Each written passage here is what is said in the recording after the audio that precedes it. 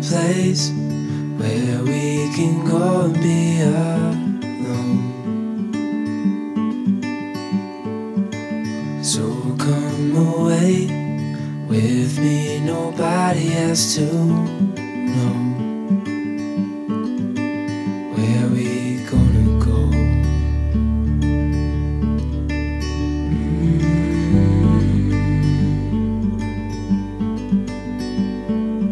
I was just calling to see if you're free to run away with me.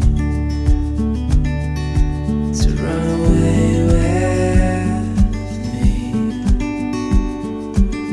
Don't tell your friends. We'll let them know Oh my God. to see you're free I love you. Amazing. to run away Oh my goodness. Oh, goodness, how are you? Amazing. Wow, this is quite the dress. Oh my gosh, I love it. Don't tell your friends, let them know we're safe later on.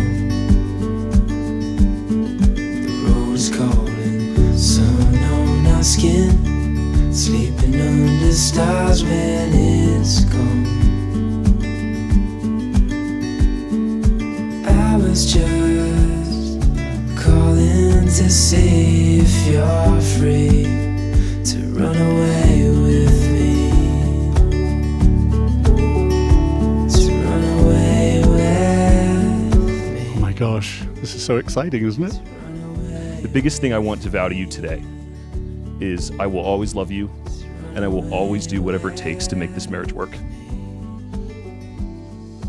Not everyone gets the opportunity to choose their family, and someone recently reminded me how lucky I am to get to choose you, and I will choose you every day.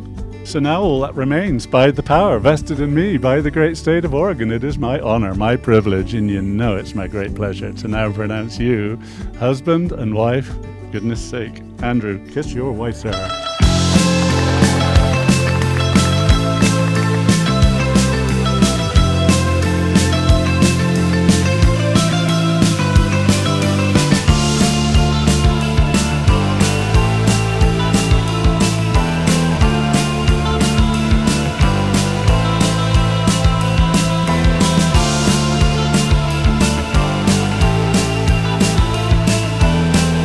Life is short, but it's going to be the longest thing you'll ever do.